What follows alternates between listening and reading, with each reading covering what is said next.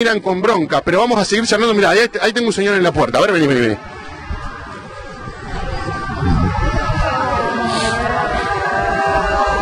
Buen día, caballero, ¿cómo le va? Estamos en vivo. ¿Cómo es su nombre? Antonio. ¿Cómo anda, Antonio? Mi nombre es Ezequiel. Bueno, Antonio, estamos nosotros participando de esta actividad. Dos años de gobierno de Mauricio Macri, de la gobernadora María Eugenia Vidal, el Fondo Monetario en el país, tarifazos. ¿Cómo lo está viviendo usted? Con mucha angustia por no ser escuchado. Esto es una muestra nada más. Pero, Sí, sí, sí.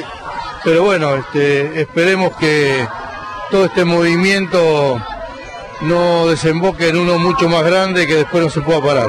¿Usted creía, Antonio, que Mauricio Macri en estos dos años y medio iba a llegar a, hacer esto? Él no dijo esto, dijo todo otra cosa y bueno, este, eh, ahora están las, las reacciones. ¿Usted le dio el apoyo de confianza en el 2015? Le di un apoyo de confianza, sí. ¿Y hoy cómo se siente, Antonio? Y me siento defraudado porque nada de lo que dijo está sucediendo, esto es todo. Con el gobierno anterior, con el gobierno de Cristina Kirchner, ¿cómo estaba usted en lo personal? Tenía trabajo, eh, era una persona normal, hoy estoy angustiado, realmente, no por mí solamente, sino por toda esa Pero ¿Cómo gente. está el país? La última, Antonio, ya lo dejó. Entre un posible balotaje el próximo año en las elecciones presidenciales, entre Mauricio Macri y Cristina Kirchner, ¿a usted a quién le daría el voto de confianza si fuesen mañana?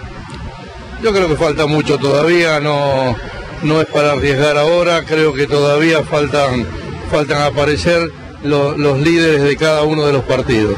Antonio, muchísimas gracias por su testimonio. Hasta luego. gracias. Gracias, buen día.